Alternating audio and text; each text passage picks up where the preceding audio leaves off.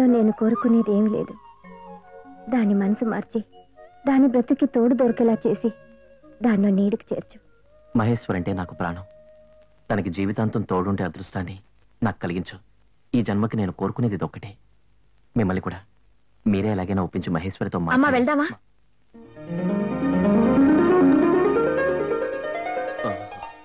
Beautiful. ఇదేనండి మిమ్మల్ని మొదటిసారి చీరలో చూడటం. ఎంత చక్కగా ఉన్నారండి? సంక్రాంతి ముగ్గుకి చీర కట్టినట్టు ఉన్నారు మిమ్మల్ని పొగుడుతున్నాను అనుకోకపోతే ఆడది చీరకి ఇంత అందం తెస్తుందా అన్నట్టుగా ఉన్నారండి. పద వెళ్దాం. ఏమండి వెళ్ళగానే తనకి దిష్టి తీయించండి. నా దిష్టి తగిలేలా ఉంది. సంక్రాంతి ముగ్గుకి చీర కట్టినట్టు ఉన్నారు ఆడది చీరకి ఇంత అందం తెస్తుందా అన్నట్టుగా ఉన్నారండి. సంక్రాంతి ముగ్గుకి చీర కట్టినట్టు ఉన్నారు ఆడది చీరకి ఇంత అందం తెస్తుందా అన్నట్టుగా ఉన్నారండి. ఏంటి చీర గంగిరెద్దులా? నాకు చీర అంటే ఇష్టం నాకు చీర ఇష్టం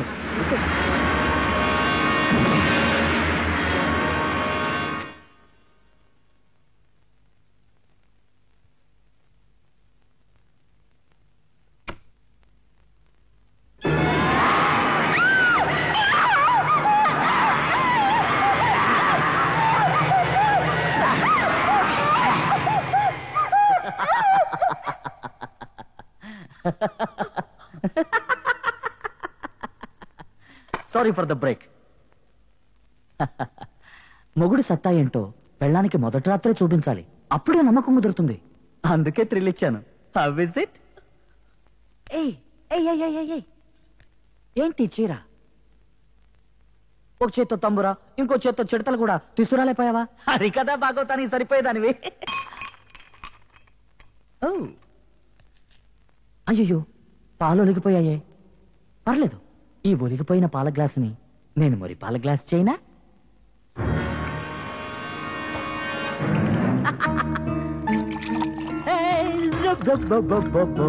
అబ్జూ.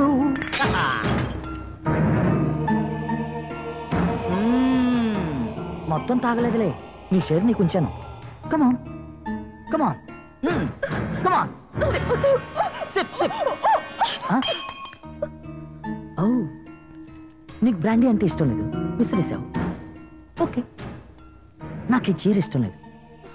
విప్పే విప్పే ఒంటి మీద ఏమీ ఉండకూడదు క్లీన్ ఏది విప్పే విప్పే విప్పే విప్పే ఏంటి ప్రతిదానికి డ్రాకుల ఫిల్మ్ ఎఫెక్ట్ ఇస్తున్నావు మొదటి రాత్రి పడగదిలో మొగుడు పెళ్ళాం చీర విప్పమనంటే తప్ప మరి ఇవన్నీ ఎందుకున్నట్టు ఆ? సిగ్గా నేను విప్పుతా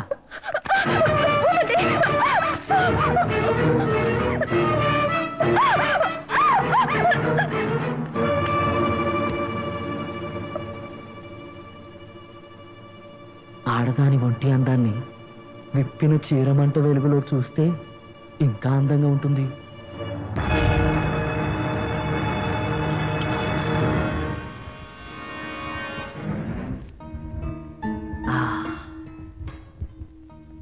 ఇప్పుడు క్లియర్గా ఉంది. ఈ రాత్రి దాటితే నిన్ను ఫ్రెష్గా చూడలేను కదా? అందుకే వీడియోలో రికార్డ్ చేస్తే ఎప్పుడైనా పార్టీలో నా ఫ్రెండ్స్తో చూడండి నా వైఫ్ గ్లామర్ అని ప్రౌడ్గా చూపిస్తాను. కమా గివ్ మీ నైస్ పోస్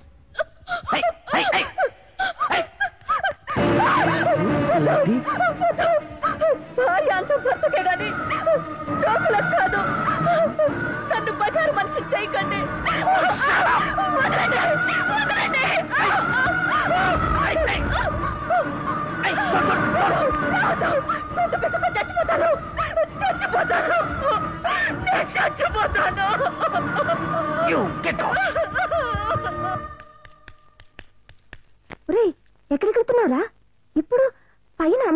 అమ్మా జనని వద్దు వద్దు అంటే చేశావుగా డబ్బా పెళ్ళి నీ పాత చింతకాయ కోడలతోటి నువ్వే కాపురం చేసుకో.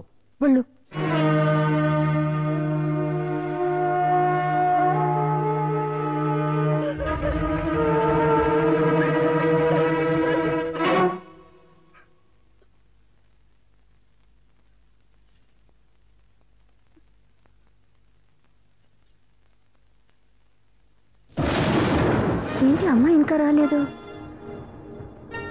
వర్షం వచ్చేలా ఉంది. ఏమిటమ్మా జానకమ్మా? కంగారు పడుతున్నావు? మహేశ్వరి ఇంకా రాలేదన్నయ్య. ఎప్పుడు ఇంత లేట్ అవదు ఇంకా రాలేదా? రేడియోలో తుఫాన్ కూడా అనౌన్స్ చేశారమ్మా. ఆ? రేడియోలో తుఫాన్ అనౌన్స్ చేశారా? అయితే తుఫాన్ రాదు. అమ్మాయి కాసేపట్లో వచ్చేస్తలేండి ఈ మాదిరి జ్యోతిషాలంతా చెప్పకపోతే ఇంతమంది మగవాళ్ళు ఉన్నారు. ఒక్క మగవాడు పూడ్చి రాకూడదా? పూడ్చి పెట్టాలి పాతి పెట్టాలి నువ్వు ఊరుకోమ్మా. మావిడ కూడా ఆఫీస్కి వెళ్ళింది. ఇంతవరకు రాలేదు. నేను టెన్షన్ పడిపోయి పరిగెత్తుకుంటూ వెళ్ళానా? నీకెందుకు ఉంటుంది ఆ టెన్షన్? ఆ సన్నాసి గారు ఉన్నాడుగా. ఆ, ఉంటే? ఇందాక వాడు కంగారు పడుతూ గొడుగు తీసుకొని మీ ఆవిడకి ఎదురెళ్ళాడు. గొడుగు తీసుకుని ఎదురెళ్ళాను రాని. వర్షంలో తడిచి వస్తుందిగా. వేడి వేడిగా ఇస్తాను. ఏమిటి కాఫీనా? అన్నయ్య. ఆ, నేను షాప్ దాకా వెళ్ళి చూసి వస్తాను. ఈలోపు అమ్మాయి వస్తే చెప్పండి. వర్షం వచ్చేట్టుంది. ఎలా వెళ్తావమ్మా? పోనీ మీరుగా పూడ్చకూడదా? మీరెవ్వరూ వెళ్ళక్కర్లేదు. మహేశ్వర్ ఎక్కడున్నా సరే ఐదు నిమిషాల్లో తీసుకొచ్చే బాధ్యత నాది. మీరేం కంగారు పడకండి నేను తీసుకొస్తాను. Very good. ఏంటి? ఆ సన్యాసి గడు మా ఆవిడ కోసం వెళ్ళాడంట. నువ్వు ఎలాగో మహేశ్వర్ కోసం వెళ్తున్నావు కదా దారిలో మా ఆవిడ కనపడితే ఇంటికి పంపించు. ఆ సన్యాసి గారు కనపడితే చిత్త చిత్త కొట్టేవాడిని. వెళ్ళవయ్యా బాబు.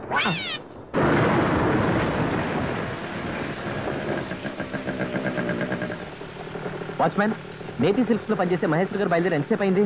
ఇవాళ తుఫాన్గా ఉందని పెందలాడి షాప్ కట్టేసి వెళ్ళిపోయారు. అలా ఏమండి నళిని మేడం గారు ఉన్నారా? ఇప్పుడే భోంచేసి పడుకున్నారు. ఆవిడతో పాటు మహేశ్వర్ గారు ఏమైనా వచ్చారా? రాలేదే.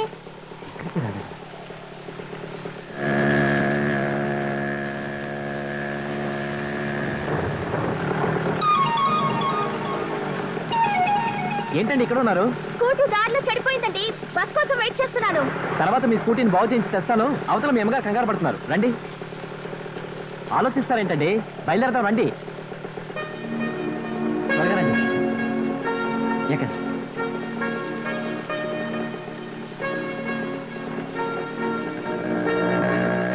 మీరు రావడం ఆలస్యమైందని అవతల మీ అమ్మగారు ఎంత కంగారు పడుతున్నారో తెలుసా? ఇంత తుఫాన్లో కూడా మిమ్మల్ని వెతకడానికి ఆవిడే బయలుదేరిపోయారు. ఆవిడ దాకా ఎందుకు? మీరు కనిపించిపోయేసరికి ఈ వర్షంలో ఎక్కడ చిక్కున్నారో నేనే ఎంతో టెన్షన్ ఫీల్ అయ్యాను. ఏ సంబంధం లేని నేనే ఇంత కంగారు పడితే కావలసిన మనుషులు ఇంకెంత కంగారు పడతారో చెప్పండి. మీకేమైందోనని నేను ఎంత భయపడ్డానో తెలుసా?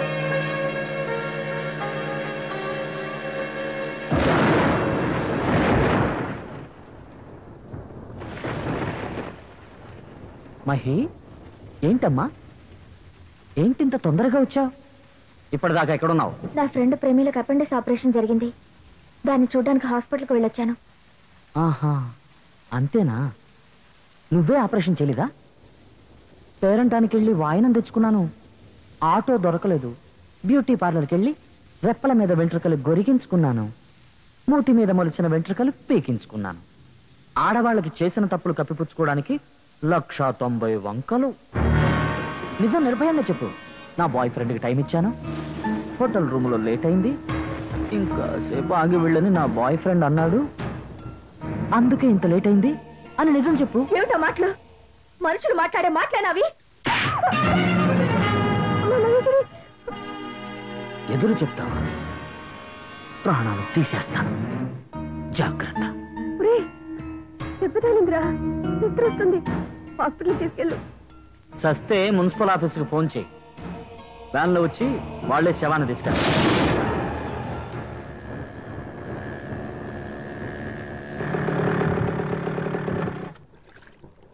ఏంటమ్మా?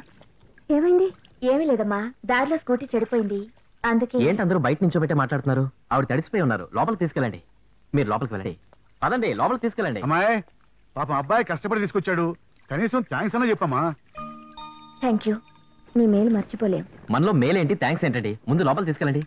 తల తొడవండి. తీసుకెళ్ళండి. చూస్తివా? ఆడ దిక్కుకు మగ దిక్కన ఇదిదా. హ్మ్. మా ఇంట్లో ఉంది ఒక దిక్కు అనుమానపు దిక్కు. ఏడ్సంటే ఉంది. మాటగా మాట పెంచి కన్వర్సేషన్ పెంచాలి లీడిస్తే ప్రొసీడర్ లోపల పంపిస్తావా? నీకు ప్రేమించడం పైసా కూడా తెలియదయా చాలు చాలండి ఇలాంటి లత్తుకు రెడియాలు గడ్డాలు పెరగాల్సిందే కానీ ప్రేమ ఏమి పుట్టదు. You hopeless I can't I can't బామ్మర్ది ఆ సన్యాసి గారు కనపడ్డా? మీ ఆవిడ ఇంటికి వచ్చేసి నువ్వు చూడలేదా? అది వచ్చింది. సన్యాసి గారు కనపడలేదని చెప్తుంది. మొన్న అమావాస్య నుంచి దాన్ని నమ్మటం మానేశాను. అది కనపడ్డా? అడ్డమైన సన్నాసిని వెతకడమే నా పనా? ఉమ్, అడ్లే బెదరు ఈ జామాయిలు కొంచెం హౌస్లో ఇవ్వాలి. ఏ హౌస్లో మీ హౌస్లోనే మా హౌస్లో ఎవరికి? మీ వైఫ్కి ఎందుకు? వర్షంలో తడిసింది కదా చలి పెట్టేసింది. దీంతో కొంచెం ఆవిరి పెట్టించండి. ప్రతి అడ్డమైన ఏదో నాకు జామాయిల బాటిల్ ఏంటి? ఇది అట్టుకెళ్ళి నేను మా ఆవిడకి ఇవ్వటం ఏంటి అది ఆవిరి పట్టడం ఏంటి ఏంటిది?